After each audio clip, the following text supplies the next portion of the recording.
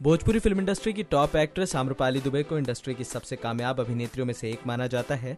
उनकी फ़िल्में जब भी सिनेमा घरों में दस्तक देती हैं, बॉक्स ऑफ़िस पर कई रिकॉर्ड्स बन जाते हैं और इन दिनों आम्रपाली दुबे एक बार फिर सुर्खियों में बनी हुई हैं। दरअसल खबरों के मुताबिक हाल ही में आम्रपाली दुबे ने बयान दिया है कि उन्हें इंडस्ट्री के सुपरस्टार्स में सुपरस्टार पवन सिंह ज़्यादा पसंद हैं। आम्रपाली ने कहा कि वो और पवन काफ़ी अच्छे दोस्त हैं और वो और पवन की काफ़ी बड़ी फ़ैन है। उनकी गायकी और एक्शन आम्रपाली को काफ़ी पसंद आते हैं। उन्होंने ये भी कहा कि वो खेसारी और पवन में से पवन को काफ़ी ज़्यादा पसंद करती हैं। और अगर उन्हें पवन के साथ फ़िल्म करने का मौका मिलता है तो वो उस मौके को जमकर भुनाएँगी।